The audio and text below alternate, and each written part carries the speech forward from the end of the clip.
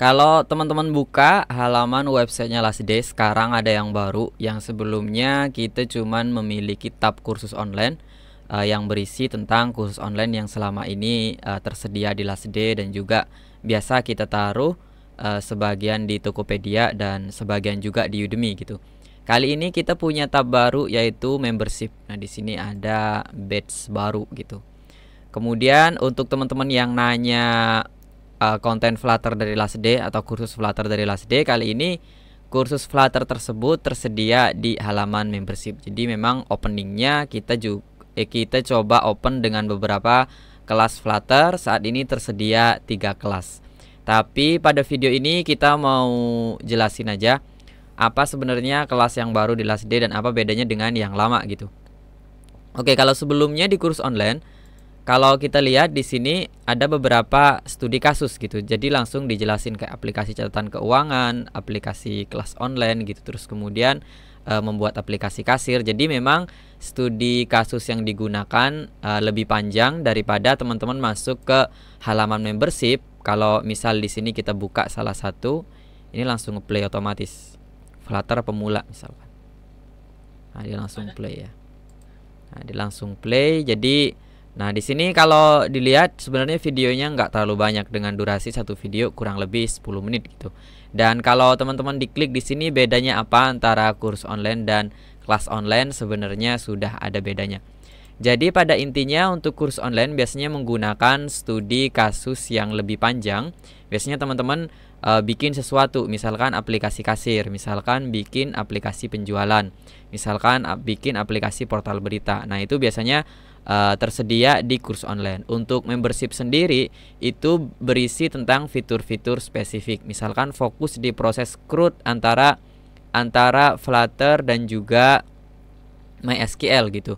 Terus kemudian membuat uh, push notification di Firebase dengan menggunakan Kotlin Android atau uh, upload file dengan menggunakan uh, Java Android uh, dan MySQL gitu. Nah, kira-kira seperti itu teman-teman bisa temui di halaman uh, kursus membership. Kalau teman-teman berlangganan satu bulan, tentunya ya lebih murah gitu di membership daripada membeli sebuah kurs online.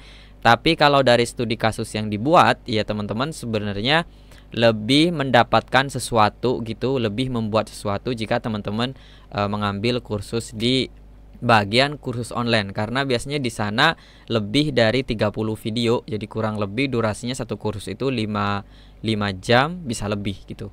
Nah, kemudian untuk next kursus karena sebenarnya kalau teman-teman kursus di bagian membership di sini di sini ada label membership tapi ada juga yang label free. Jadi ini mungkin akan berpengaruh ke next konten YouTube di channel YouTube alias D Indonesia. Jadi memang uh, kita coba bikin semua uh, series di series di channel YouTube ini itu adalah berupa series, nggak potongan kayak tutorial gitu ya. Mungkin tetap ada tapi concernnya sebenarnya series karena saya pribadi dulu kalau kalau belajar itu lebih suka belajar yang series gitu. Sebelum kita memiliki logic sendiri, sebelum kita memiliki uh, problem problem atau problem solving sendiri kita coba ikutin logic dan problem solving orang lain. Jadi dari resource tersebut jadi kita kalau ketemu dengan uh, masalah yang sama kita mungkin perlu solusi dari yang pernah kita bikin. Jadi mungkin uh, latar belakangnya seperti itu ya. Makanya saya sampai sekarang lebih suka membuat series daripada kayak potongan-potongan uh, tutorial. Jadi series seperti di sini uh, REST API CRUD PHP MySQL sudah tersedia di halaman membership dan dia free gitu. Dan ini juga akan berpengaruh. Mungkin sekarang uh, kursus yang kelas yang tersedia di halaman membership mungkin next akan menjadi konten free di YouTube. Tapi uh, intinya setiap series yang kita buat kita akan upload uh, secara secepat mungkin itu di kelas membership. Jadi teman-teman yang berlangganan di kelas membership akan menerima uh, konten lebih cepat dan biasanya langsung berupa series. Jadi uh, untuk nextnya ini misalkan untuk connect database-nya gimana, untuk API-nya gimana, ininya gimana. Biasanya kalau potongan tutorial, potongan tutorial kan biasanya kita uh, mengkombinasikan atau mengimplement ke project itu agak kesusahan. Jadi uh, yang akan kita upload di membership itu biasanya berupa series dengan bermacam-macam kemungkinan studi kasus yang teman-teman temui. Misalkan di sini Flutter login register PHP MySQL. Kita cek ya.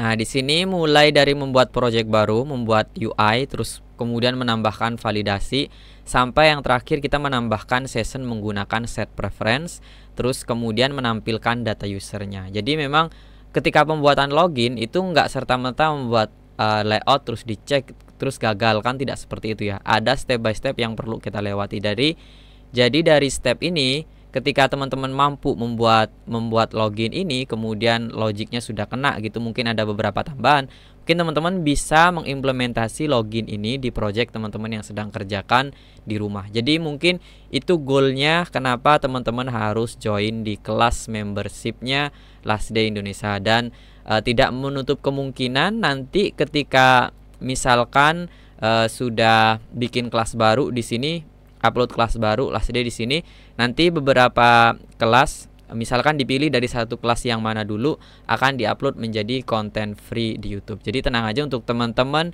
uh, teman-teman di YouTube uh, tetap akan mendapatkan konten premium dari Last Day tapi mungkin uh, agak terlambat. Mungkin bedanya cuma agak terlambat aja karena videonya sama, source code-nya sama, mungkin itu aja. Kemudian apa bedanya dengan uh, Udemy gitu? Uh, sepertinya Udemy belakangan mulai rame gitu karena uh, setiap cek notifikasi gitu uh, Udemy lumayan banyak dapat notifikasi. Jadi Udemy sendiri sebenarnya bukan concern saya ya. Maksudnya uh, karena di last day saat ini tidak tersedia uh, sertifikat dan saya ngerti kenapa teman-teman butuh sertifikat tersebut.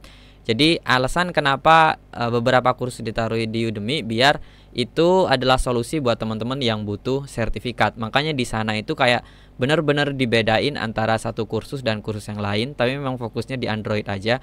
Jadi ada pilihan Kotlin, Kotlin dasar, terus kemudian ada Java Android dasar terus kemudian kayak serverless menggunakan Firebase ada juga di situ terus kemudian desain pattern MVVM juga ada jadi per spesifik uh, fitur besarnya itu dipisah terus saya upload di Udemy. Jadi buat teman-teman yang butuh sertifikat bisa ambil kursus di sana. Karena isinya juga sama dengan websitenya Last Day tapi yang pasti ya lebih lengkap di uh, websitenya Day Indonesia. Mungkin itu aja informasi dari kelas terbaru Last Day dan semoga teman-teman tidak bingung lagi. Kalau kurang mengerti apa bedanya kursus yang lama dengan kelas membership, teman-teman bisa klik tab apa bedanya antara kursus dan kelas membership yang ada di websitenya Last Day.